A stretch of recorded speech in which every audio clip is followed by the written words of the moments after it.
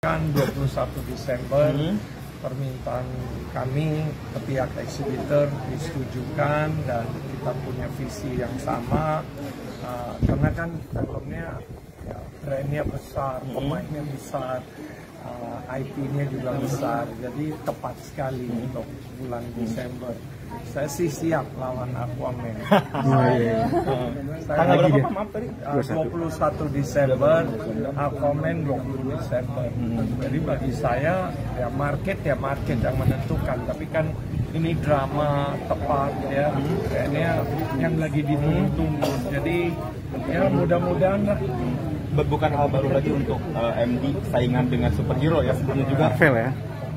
Udah. Ya, gini, karena gini, saya mau ambil, uh, saya kenapa senang sama film asing? Saya mau ambil market share film asing, bukan market share film Indonesia. Film Indonesia kan kita nggak perlu compete secara apa tabrakan. Ya, tapi kalau memang nggak ada pilihan harus oke pilihan saya gimana lebih kita bisa dominasi film Indonesia. Selalu keinginan saya harus jadi tuan rumah. Untuk jadi tuan rumah harus berani. Pak menarik ini kan yang pertama line up-nya adalah eh, bisa dibilang Kapadokia udah sangat viral ya Pak ya gara-gara film layangan itu. Apakah eh, tempat asli Kapadokia di Turki menjadi salah satu bagian tempat syuting di Oh iya, filmnya? kami kami khusus ke Cappadocia, Turki untuk syuting film Layangan Putus. Jadi kalau lihat trailernya ada tuh adegan Cappadocia. Berarti benar di sana ya Pak ya? Benar. Berapa lama Pak syuting di sana? Ya nggak lama kok. Kita hanya empat hari ya. Syutingnya tiga empat hari, including traveling semua. Karena ceritanya membutuhkan itu doang. Jadi kita khusus. Saya bisa nipu mau green screen mau apa di sana, tapi enggak lah sayang. Jadi bukan ada adegan 15 menit gitu di Cappadocia, enggak khusus. Berarti terbang ke sana untuk Terbang ke sana untuk dapat balon itu ya. udara. Kan ini it's my dream. Ya, it's Pak my- maaf ini kan eh, akhirnya netizen juga pada bilang dan kenapa akhirnya diganti Putri Marino? Enggak, kalau Atau saya apa, niatnya nggak mau ganti. Hmm. Eh, saya kira Putri Marinonya yang tidak tertarik. Awalnya sudah oke eh, mau main karena itu skripnya saya udah buat. Skripnya udah buat, Putrinya rubah pikiran. Bagi saya ya skripnya udah bagus sekali ya. Reza udah suka, Anya udah suka dan kami putuskan bersama. Jadi bukan ego saya, ayo kita harus bikin enggak. Skripnya bagus sekali dan di sini uh, Reza juga mau gitu loh. Kan Reza bukan orang gampang, ayo mau syuting. Dia pilihan ada 100 film, nggak ambil ini ada proyek lain. Jadi bagi Reza ini dia juga sangat uh, maksudnya kayak belum lengkap. Ini kan dia tahu value layangan putus apa dan saya apresiasi. Jadi kami punya visi yang sama harus mau buat ke layar lebar dan karena pemain nggak mau nggak mungkin kita nggak lanjut waktu kami kepikirkan wah ini Rehanon tepat ya why not ya coba wah Rehanon baca sampai komen-komen brilliant script oh my god oh my god. Udah udah excited banget ya. Saya juga tertarik dong kalau memang pemainnya mau. Pas kan balik lagi cerita mungkin orang bakal merasa aduh aduh. Tapi kalau udah nonton dia bisa perankan Kinan. Kinan kan tokoh Kinan, bukan karakter, bukan pemain yang membantu. Harapannya tadi sama, tapi saya sangat happy dengan performance Rehanun. Kita semua sepakat filmnya bagus.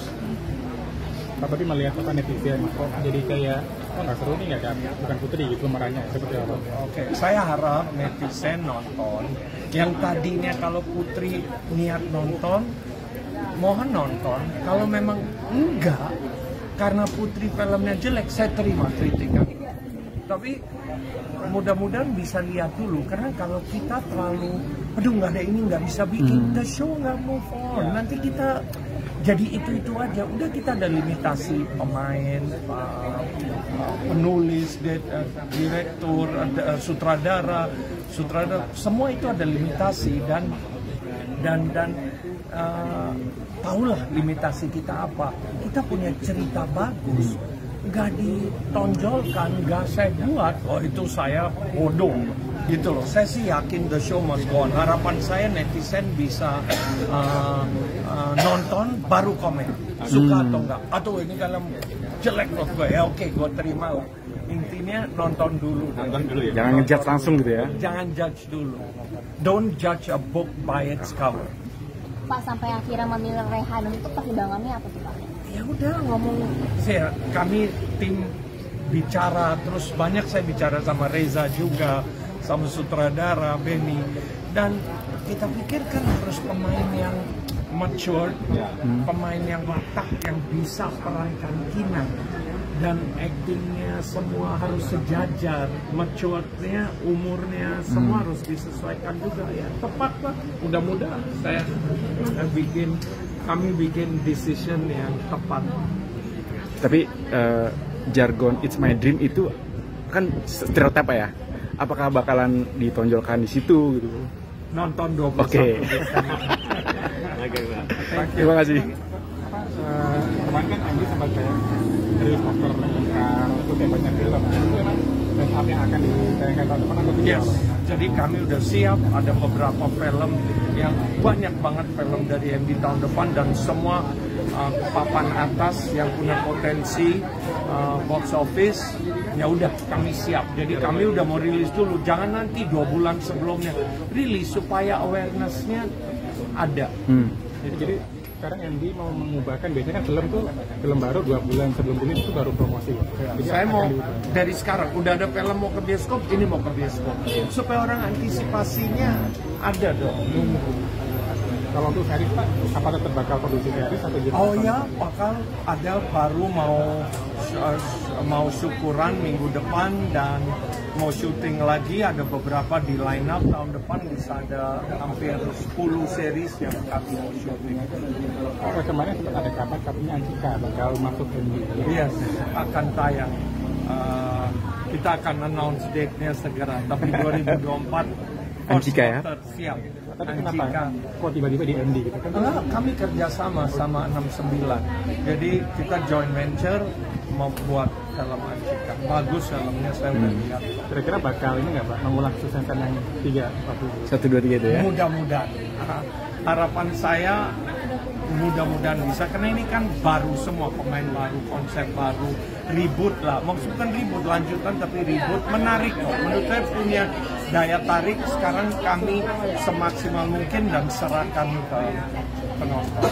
Kan MD kan sering kayak mengembangkan IP. Apakah ntar ini misalkan IP kan sukses, bakal ada yang kedua, ketiga gitu? saya serahkan ini kan kerjasama. Decisionnya bukan di saya.